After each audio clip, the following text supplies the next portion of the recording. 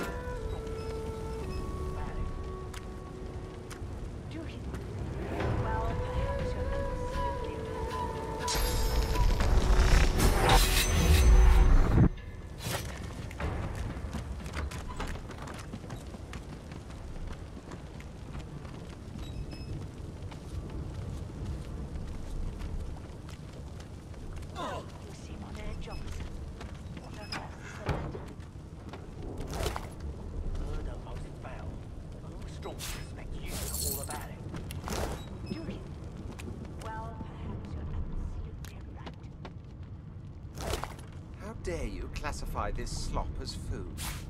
I've seen more appetizing things coming out of plague-stricken pigs. There's... there's nothing else I...